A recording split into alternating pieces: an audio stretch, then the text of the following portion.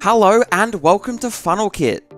With FunnelKit's extensive content and styling options, you are able to customize all aspects of your order bump, allowing you to create the perfect order bump for your store.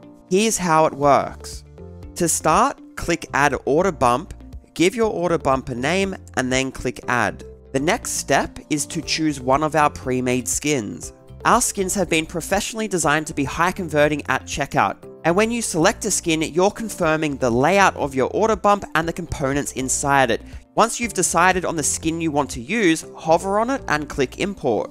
Under the design tab, begin to change the content of your order bump, adjusting the call to action text, writing a persuasive description, adding some exclusive offer text, and modifying the product image if you don't want to use the product's featured image. Once you have finalized the content of your order bump, Navigate to the style settings and begin to customize the design. Using these settings, you are able to adjust the styling for every component in your order bump. As a quick example, I will edit the color of my call to action text to match my website's accent color, and I'll change my button color to match the other call to action buttons on my website. But as you can see, there are a range of styling options here to allow you to design your order bump exactly how you want it. Here are some additional notes about this feature.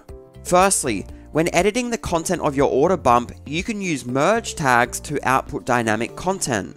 Here are all the merge tags that you have access to when creating an order bump. As an example, here in my description I have inserted two merge tags, one for price and a second merge tag for the savings value. If I preview this at checkout, the merge tags are converted into real values based on the pricing set for my order bump. And secondly, under the Style tab, there are three general settings that are very powerful. This first setting allows you to change the position of your order bump on your checkout page. If you want to learn more information about this setting, see our separate video which covers this setting in great detail. The next setting allows you to automatically add your order bump into your customer's cart at checkout by pre-selecting it. And the third setting allows you to hide your order bump once your customer selects it, which is great for when you want to use order bumps to upsell your customers more enhanced versions of a product that is already in their cart. Order bumps is just one of the many powerful features included with FunnelKit.